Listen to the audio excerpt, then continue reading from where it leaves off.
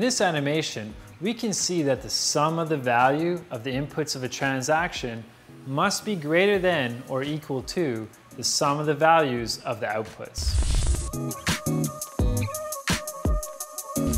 The Coinbase transaction is the reward for the successful addition of a node's block to the chain. Nodes cannot spend this transaction's outputs until they are 100 blocks old. This rule prevents outputs from blocks involved in orphan races from being used by node operators and is one of the several inherent constraints starting from the beginning of this system that have held stable through consensus.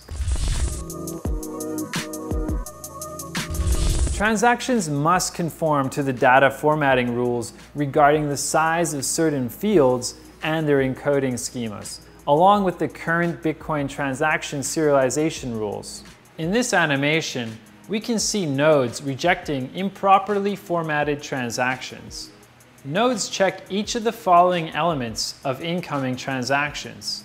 The transaction version is a 4 bytes value defining the version of the protocol that should be used to evaluate the transaction. The amount of inputs being spent as a variable integer of 1, 3, 5, or 9 bytes, and within the inputs themselves, the transaction ID of the transaction containing the UTXO being spent. The output vector index of the UTXO, this field uses a variable integer of 1, 3, 5, or 9 bytes to define the length of the unlocking and is needed along with a valid script signature to spend the input and the script signature sequence number for payment channel use. The amount of outputs being created and the outputs themselves, which encompasses the amount of satoshis being locked into the output script, a field that defines the length of the script pub key.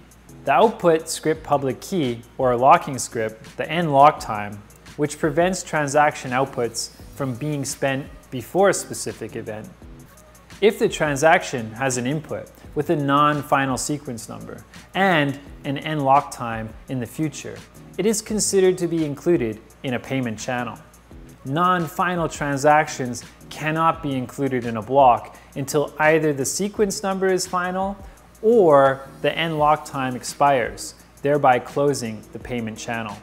The transaction is updated by iterating a new valid version with an increased nSequence value on at least one of the non-final inputs.